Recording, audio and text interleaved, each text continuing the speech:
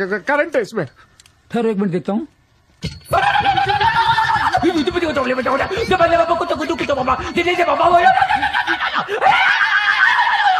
देखा?